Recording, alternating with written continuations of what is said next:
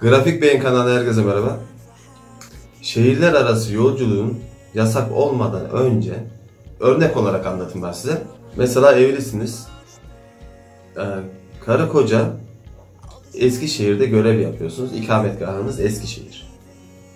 Erkek tarafın ailesi Nevşehir'de. Ve eşinizin ailesi Adana'da. Nevşehir'den Adana'ya gidebilir misiniz? Gidemezsiniz. Tamamen yasak. Allah korusun ölüm kalım meselesi olmadıkça gidemezsiniz. Peki geri ikametgah yaptığınız şehrinize gidebilir misiniz Eskişehir'e? Tabii ki gidebilirsiniz. Ama gitmeden önce tabii yine valilikten izin alacaksınız veya valilik kapalıysa hafta sonuysa karakola gideceksiniz. Oradan izin alacaksınız.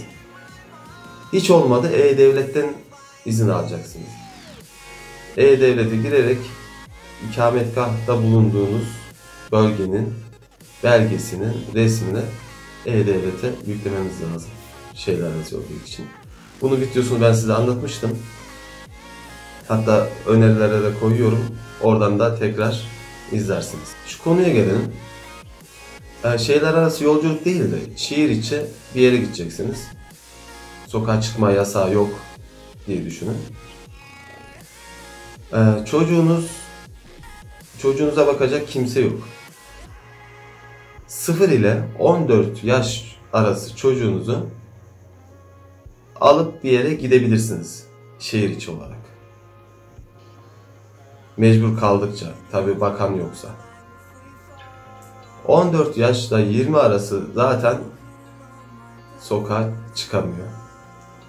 Ve de 60 yaştan büyük kişiler sokağa çıkamıyor. Bu yönden anlatmak istedim. Böyle bir konu bulamadım internette. Peki şehirler arası yolculuktan e, izin almadan giderseniz ceza var mı para cezası? Yok. Para cezası yok. Yalnız e, tabi 60 yaş üstü gidemiyor. 20 yaş altı da gidemiyor.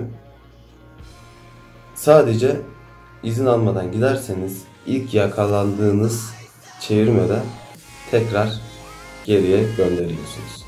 İlginiz olsun. İzlediğiniz için teşekkür ederim. Böyle videolar devamı gelmesini istiyorsanız YouTube kanalım Grafik Beyin kanalına abone olmayı unutmayın. Teşekkür ederim. Sağlıcakla kalın. Hoşçakalın.